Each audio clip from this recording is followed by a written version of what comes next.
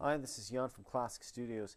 This is Ocam, Ocam Emmanuel secondo part from the Joy of Christmas elementary level piano safari series. Ready? One, two, three, four.